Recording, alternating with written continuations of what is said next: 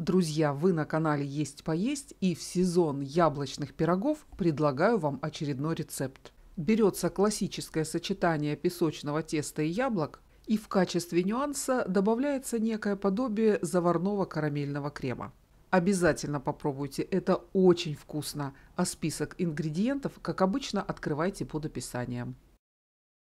Для начала в толстостенную сковороду кладу сахар и отправляю на умеренный огонь, чтобы он расплавился. Перемешивать его не нужно. Тем временем в теплое молоко добавляю крахмал, я беру кукурузный, и хорошенько размешиваю. К растопленному сахару добавляю кусочек сливочного масла и быстро размешиваю. Затем выливаю молоко с крахмалом, также непрерывно помешивая. Конечно, все это делается на огне, и крем сразу же загустевает – Добавляю сюда корицу, ванильный сахар, немного соли и яблоки, порезанные кусочками.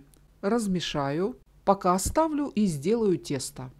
Для этого в чашу измельчителя кладу холодное масло, порезанное кусочками, сахар, муку, разрыхлитель, ванильный сахар и немного соли.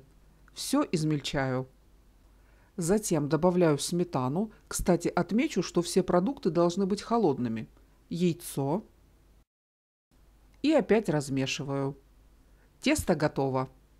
Оно получается в виде такой крупной крошки.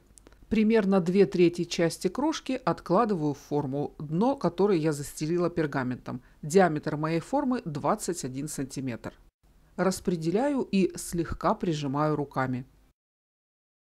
Выкладываю начинку, разравниваю ее, немного утрамбовывая.